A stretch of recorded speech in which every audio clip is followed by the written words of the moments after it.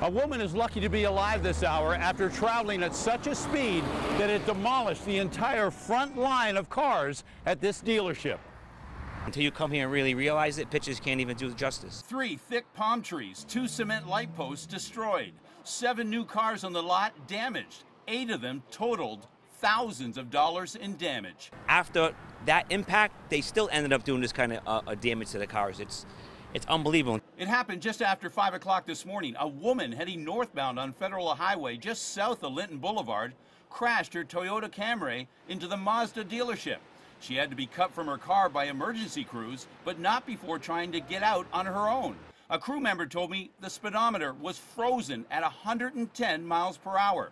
She was taken to Delray Medical Center. No word on her condition.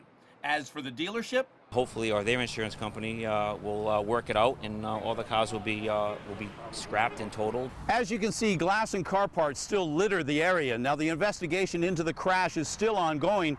I'm being told that speed was definitely a factor in the crash, and alcohol may also have been a factor. In Delray Beach, I'm Thomas Forster, CBS 12 News.